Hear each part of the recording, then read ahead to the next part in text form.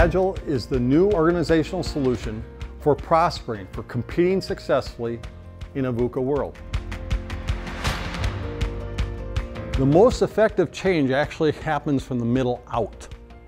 Some enlightened and motivated manager somewhere in the middle organization says, I want to make the corner of the planet for which I'm responsible a little better.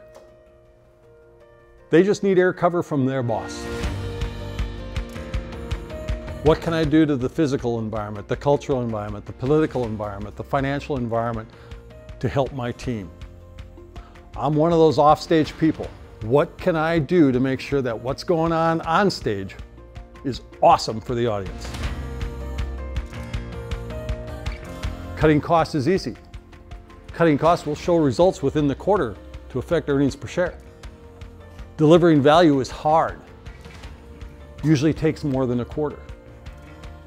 But now you can't do that anymore because in Agile, it's all about creating value for the customer.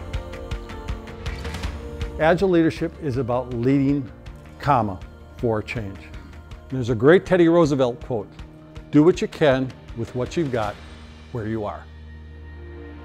Because when you're driving this change, your biggest obstacle is escaping the gravitational pull of the existing culture. It's like an Apollo moonshot. So your job as a leader is to craft the organizational behaviors, create the habitual behaviors that lead to agility.